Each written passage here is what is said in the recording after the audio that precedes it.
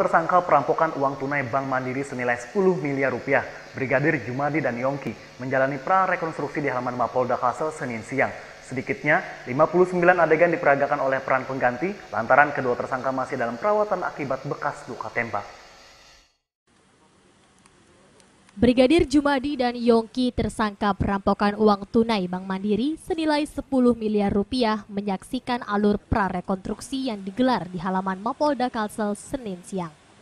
Pada prarekonstruksi yang diperagakan oleh peran pengganti dari sejumlah anggota polisi ini, Brigadir Jumadi sebagai tersangka utama otak pelaku perampokan dan Yongki tersangka kedua.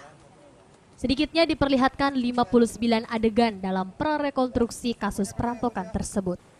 Sementara kedua tersangka, Brigadir Jumadi dan Yongki hanya bisa menyaksikan kronologis kejadian melalui kursi roda.